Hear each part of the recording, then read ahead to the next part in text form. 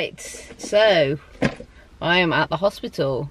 Yeah, I'm having these stitches from my tiny little facelift taken out. Hopefully it's not going to be as painful as the actual procedure was.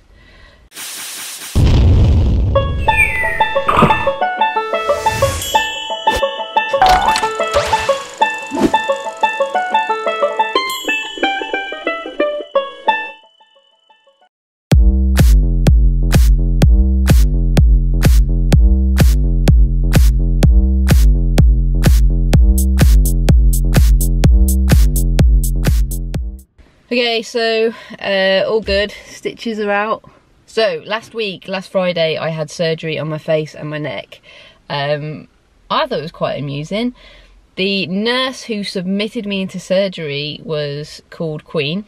So I got submitted by Queen, and my surgeon was called Mrs. Cat. So I had a mole removed, and I was submitted by the Queen, and the surgery was done by a cat. There's some sort of joke in there, but it's Monday and I got nothing.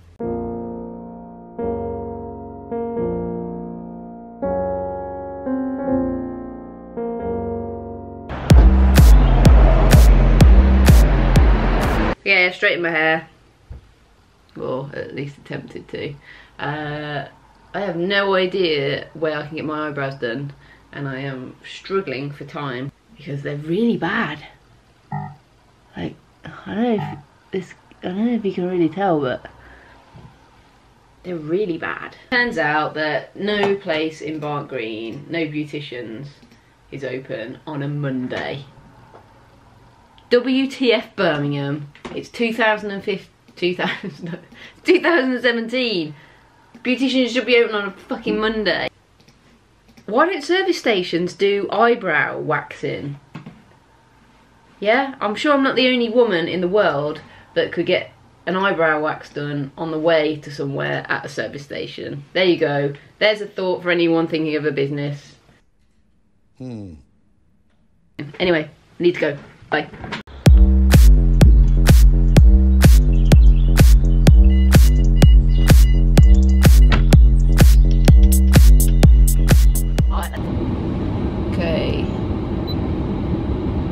Always leave travelling somewhere really bloody late.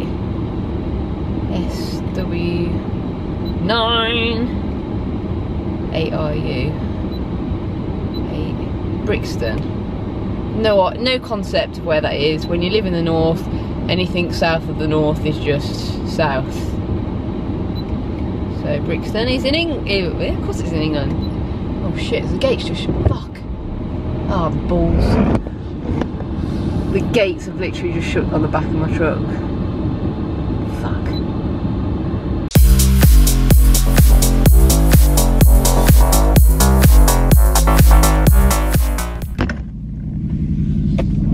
Right, I'm just at um, Oxford Serve. I've got to fill up with fuel and I also think I've got a slow puncture.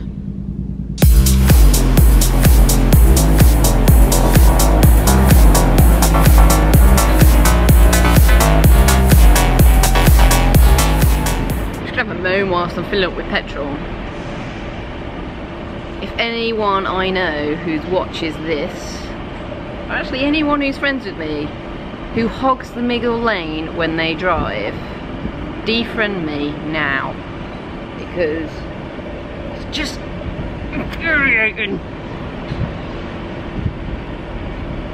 just pisses me off. I have to drive so many miles for my job and people just sit in the middle lane. Just the worst people in society. Just move over, especially if there's no traffic. You have no place sitting in the middle lane just chunkling along. You are what create traffic. Yeah. Oh, and I've got a slow puncture. I'm gonna moan again. Right, okay, so I travel a lot of the country and uh, you end up eating on the road if you don't prepare your meals.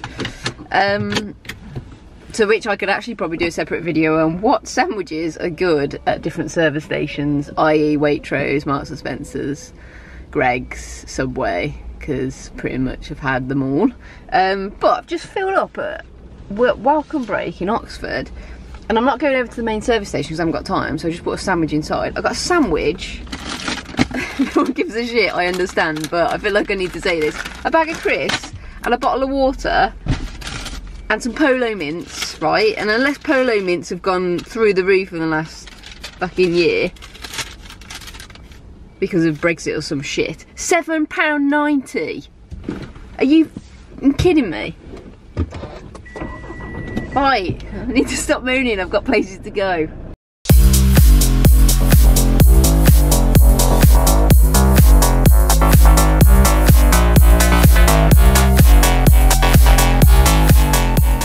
Landed. Um, parking space won't let me park, which is just shit. So I'm trying to find where I'm supposed to be right now. Arrived at um, Joe's office. I'm going to meet Morley and get some photos taken.